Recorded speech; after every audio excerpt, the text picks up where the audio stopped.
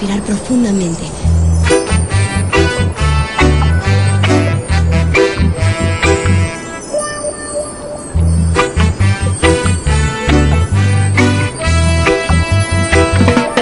Esto está un poco frío.